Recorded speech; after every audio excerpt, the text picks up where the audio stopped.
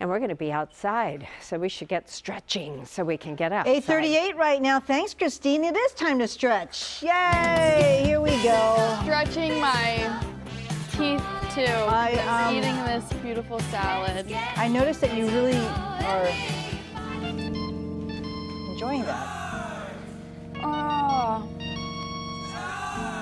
Eat and stretch. I see, I see. Okay. There we go. And there's Big Al. Those Aw, kids have been working these hard to run yeah. their 10K. That's far.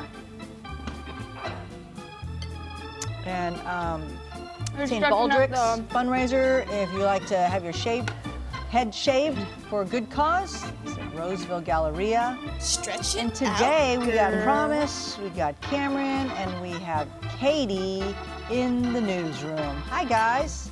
There's Christine. Hello. Hello. Hello. Here we go. Very good, very good. I like to do an arm. You go ahead and eat. Are you gonna take over and Yeah. read everything? How about a